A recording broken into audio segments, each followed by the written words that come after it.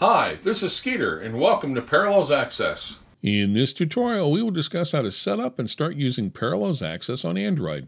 There are two components required to use Parallels Access. There is the Parallels Access application for your Android device and the Parallels Access agent for either your PC or Mac. Parallels Access runs on both Android phones and tablets, but for this video we will show you how to install it on your tablet.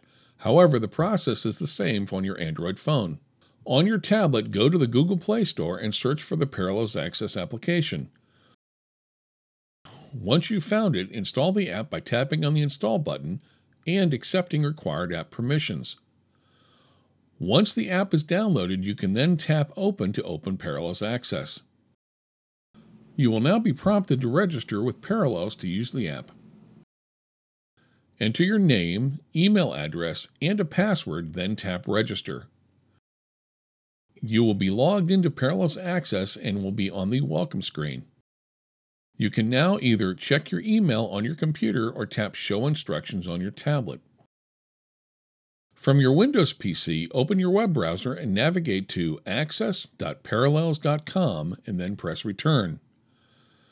You should now be on the Parallels Access account page.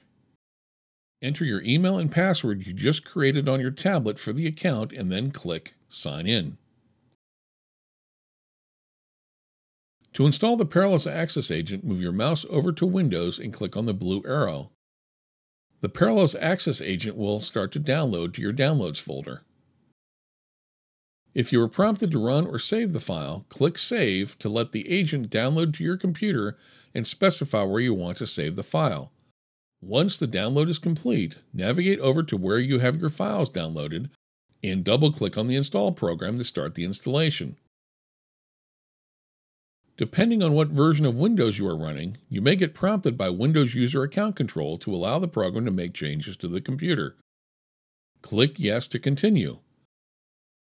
Select your desired language and click OK. The setup wizard will start.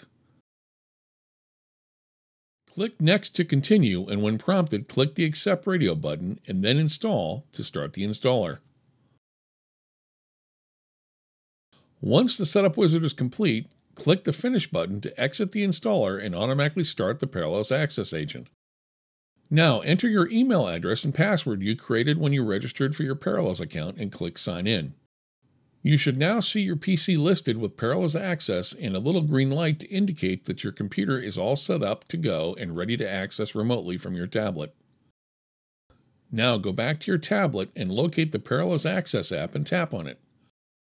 If not already signed in, enter the email address and password you created when you registered. And optionally, check the Keep Me Signed In and then tap the Sign In button. Parallels Access will now list all the computers that you've installed the Access Agent on. To connect to the computer that you've just installed the Access Agent on, tap the arrow to connect to the computer or just tap on the computer icon itself.